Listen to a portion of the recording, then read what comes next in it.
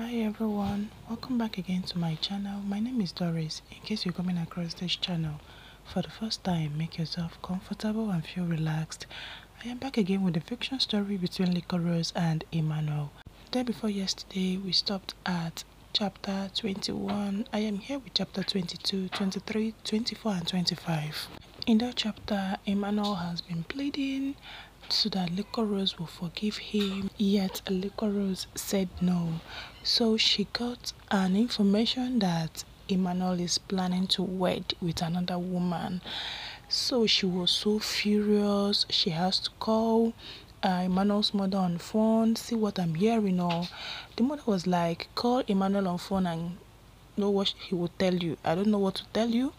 Then she has to rush to Ifoma's place to tell her, see what is happening, see what I heard though. Unfortunately, she met Emmanuel at Ifoma's place.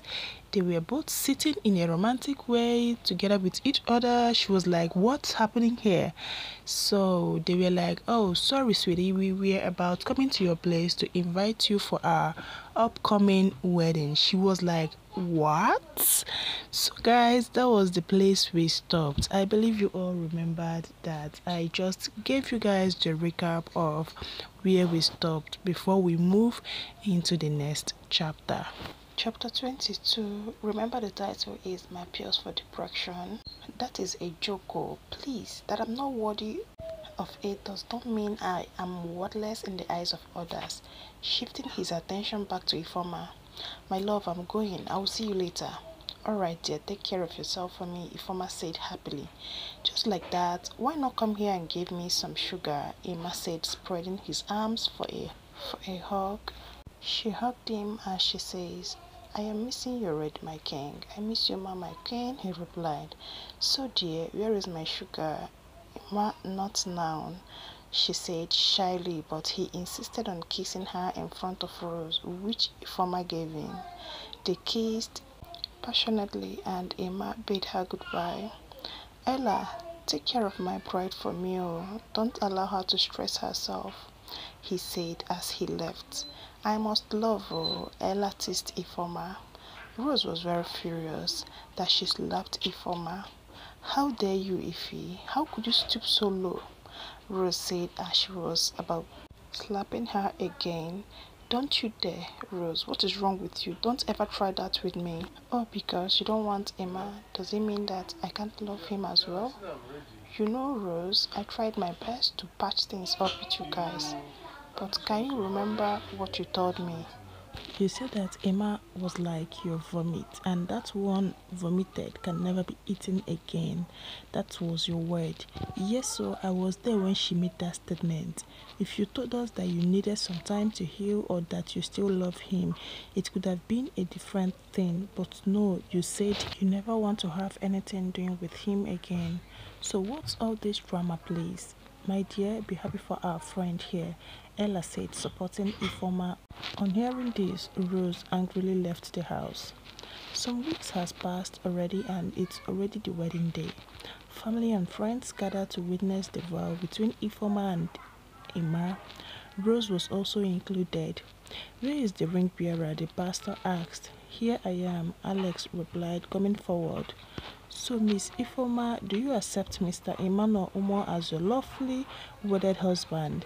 Yes, I do, replied Ifoma. The pastor also asked Emma, and he also said yes. Chapter 23 So then, as an ordained man of God, I pronounce you guys a man and a wife.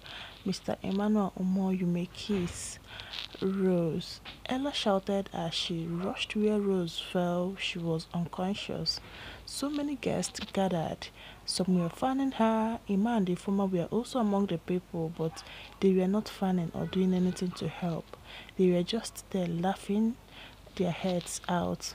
It serves her right, Emma said in the middle of the laughter. Guys, please help and do something, Ella said, shaking Rose to wake up. Rose, please don't do this to yourself. There are so many cheaters out there. Ella continued shaking her. Rose began to regain herself. She opened her eyes slowly, but when she was finally awake, there was no other person apart from Ella, and they were not in the wedding ground but in Rose's house. She stood up immediately. Jumping back, Ella asked her what's going on with her. Was it a dream? Girl, what is wrong with you? I came here to check up on you because you were sad when you left the house. Ifoma is also here with me, but on seeing that you were having fever, she rushed to buy some drugs for you. What happened? So Emma and Ifoma did not get married? Rose asked, shaken. What are you saying? Ifoma married Emma, are you okay at all? Ella asked in mix of laughter and confusion. Sorry, I had a nightmare. Rose told Ella everything that happened in her dream. My dear, this is not nightmare but afternoon mare, Ella joked. This your dream get Lego. So even if Emma wanted to marry another girl, it will now be your bestie. Check him out now.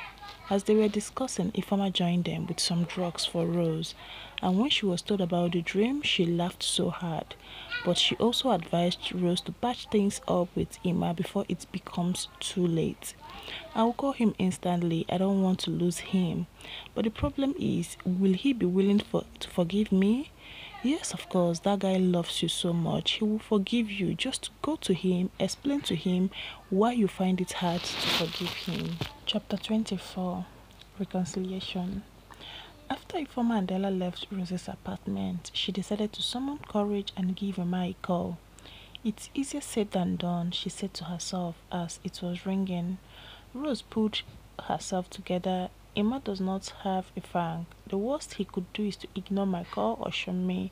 She was in a big thought that she didn't know when he picked up. Hello, Rose, are you there? Hearing her name brought her back to reality. Hi, Emmanuel, how are you doing? She said in a shaky voice. I'm good. This one you decided to call. Hope I'm safe. You are for now, but I don't know what will happen in the next few minutes. She joked. What do you want, Rose? Emma asked, but his emotion hidden. Rose did not know whether he's angry or disgusted. I want you, Emma. I mean, I want us to talk. I hope it's not too late. Rose concluded with tension. Well, it is, my dear. Um, Rose cut in before Emma could finish. Emma, please don't do this to me. Yes, I know that I have hurt you and your family, but please don't push me away. Tears swelling in her eyes. Rose, I never said anything like that. I'm in town right now. I'm there for business and it will last three days. So when I come back, I will call and see you. Emma said, calming her down. I can't wait that long. Which side of the town are you? She asked impatiently. I'm at my guest house in Lekki. Emma replied, Okay, send me the directions. I will be there in a few hours from now. But Rose, it's late already. Wait till I'm back. Don't tell me it's late, she shouted. Don't tell me it's late, this time in a calmer tone. I really want to see you. Okay, no problem, but please be careful, he said concernedly. I will, Rose replied. She ended the call, made a touch up on her makeover, dressed in a beautiful black hot micro mini gown, adorned it with silver accessories. She took her handbag, her car keys, rushed down to her garage, entered her car, and zoomed off. Emma at the other side was worriedly sick. Rose is very stubborn. I wonder what she might be thinking. Chapter 25 It's 8 p.m. already and Rose has not yet arrived. Emma was panicking because she was not picking her calls either. He was in a well air conditioned room but sweats were all over his body that he had to take a shower to freshen up and calm his nerves down. He told her not to come and now this. He said this to himself. Now it's two hours and no sign of Rose. He couldn't take it and again. He went to his desk to pick his keys. He was about to leave when he heard a gentle knock at the door. When Emma opened it, he was overjoyed when he saw the love of his life standing in front of him, looking so hot. He was so mesmerized by her beauty that he forgot to usher her in. Snapping her fingers, may I come in, please? Yes, sure you can, he said, leading the way. I was about going out to look for you since you were not picking up again. I'm so sorry it was on vibration. It's okay, I'm glad you are safe. So, what's up?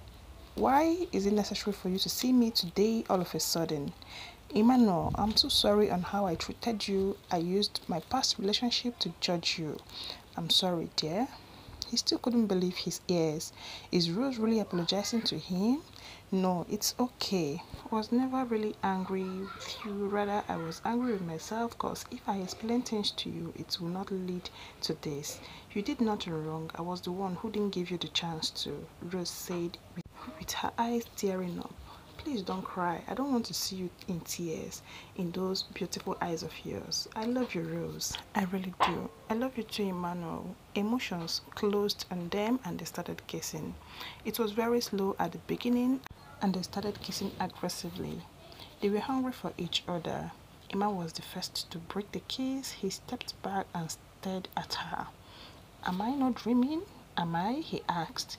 You're not there, and even if it was a dream, I don't want to wake up, Rose said.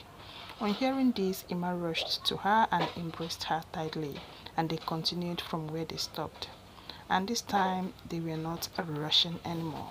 I love this ending part of chapter 25. You know, some of the dreams we do have at times, uh, some people do say that it's nothing, that, that it's just a mere dream. But for me, I think dreams is just an indirect way of telling us things that can actually happen in future. For me i don't know for you everybody has his or her own belief yes. And i'm very happy how Liquorose acted quickly yes because of that dream she had she has to act quickly. But of a truth that day before yesterday we were reading it. I was thinking that it's true oh. i didn't even know that it's dream but i'm happy they have reconciled now. I will be back with some of the chapters today or tomorrow. Yes i will be back with eight I believe you guys are learning something from this story because I am learning too. And please, if you've not subscribed to this channel, do me this favor and subscribe. Remember to recommend this channel to people out there. Like, comment if you find this video interesting. Do take care of yourselves till I come your way next time. Bye-bye.